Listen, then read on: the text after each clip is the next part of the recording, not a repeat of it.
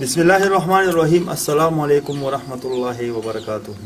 नाजरीन, हमारे साथ जो भाई बैठे हुए हैं, ये भाई हैं और ये उनकी बहन है। ये इस घर में रहते हैं और साथ में जो बुज़ुर्ग बैठे हैं, ये इन लोगों का बड़ा भाई है। कमाने वाला कोई भी नहीं है, कोई भी आसरा ऐसे नहीं है कि वो इनके लिए कुछ लाएँ।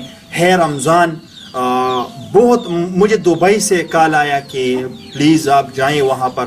इन लोगों के लिए पाँच सोशल वर्करों ने वीडियो बनाए हैं।